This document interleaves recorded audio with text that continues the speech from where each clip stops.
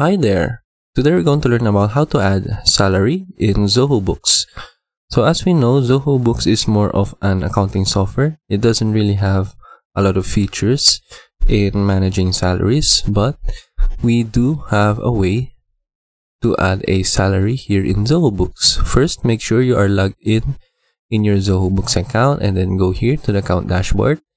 And then once we're here, we are going to click on purchases and click on expenses. And then we will just create a new expense. And then for account we'll just name it to the salaries and employee wages.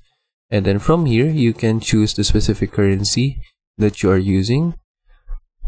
I will choose the Philippine peso for now. And then for example you'll put in here the amount of salary that you are giving to the employee.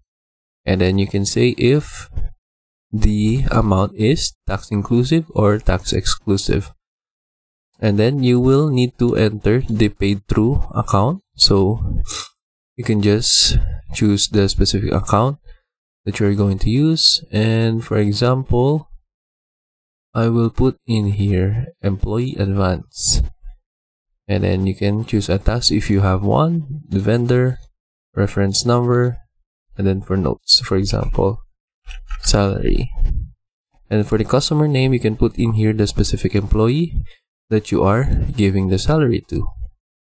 And then once you're done you can just click on save.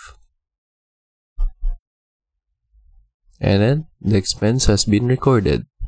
So that is how we add a salary in Zoho Books. I hope you learn how to do it and thank you for watching.